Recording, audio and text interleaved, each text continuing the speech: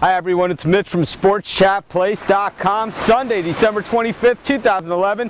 Here with your free NBA basketball pick. Of course, free picks and write-ups every single day at SportsChatPlace.com. And for my best bets, our staff's best bets, and picks from some of the top handicappers in the world today, we got all at SportsChatPlace.com Premium Edition.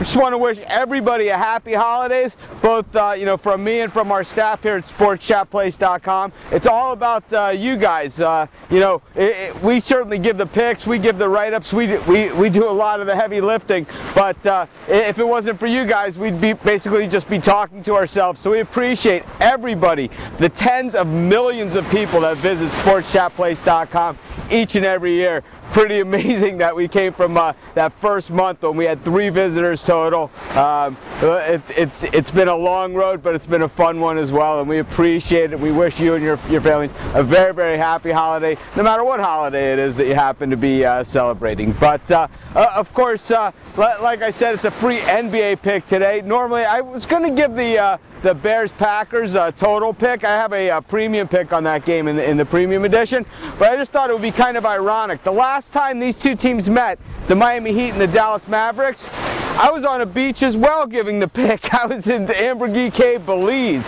Uh, that was just a few months back, and uh, it's uh, only it's kind of ironic. I'm on a beach again when these two teams play the next time. Of course, I'm in Grace Bay, Turks and Caicos. It's our last video from here. Uh, we'll be heading back to Chicago. It's a little chilly there, but uh, you know what?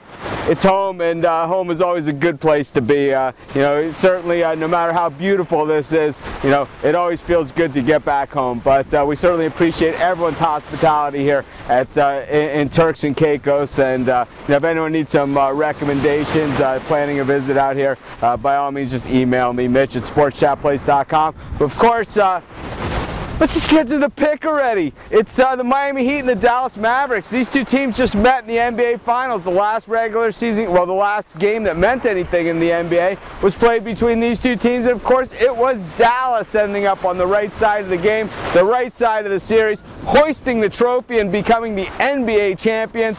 You know, Miami, a team on a mission, and uh, you know they claim to be on a mission. But one thing that you never see is, uh, you know, claims or does it uh, actually mean doing it on the court?